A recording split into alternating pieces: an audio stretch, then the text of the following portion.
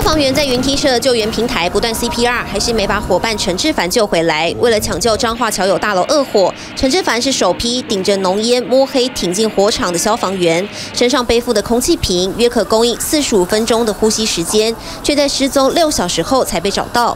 彰化县消防大队也透露，事发当下陈志凡其实有透过无线电回报，因为浓烟非常大，可能撤不下去，需要帮忙。但当时火势不停向上窜烧，抢救队员也无法进去救人。我们呃也都有安全官哦在做这个管控，啊，只是整个状况哦突变。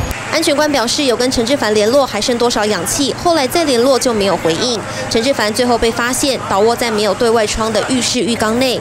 对此，有消防员也表示，陈志凡在楼上的浓烟区域可能产生空间迷失，空气瓶用尽，准备要选择一个场所待救，却不幸选了一间没有窗户的房间。从小就立志，比较喜欢消防。我鼓励他去。鼓励的，因为我我我有参加义消，嗯，啊，他也有参加。身为家中长子的陈志凡有两个妹妹，曾跟爸爸一起当义消，天生有救人的使命感。得知殉职消息，他的妹婿也心痛，表示：火神如果有眼泪，那是因为妈妈的心在淌血。只是消防员进入火场，通常都会佩戴救命蜂鸣器，在胸前或腰际。当感知消防员三十秒无动静，或是进入高温火场过久，都会持续发出高分贝的尖锐蜂鸣声，警示周遭队友尽速来驰援，增加生存机会。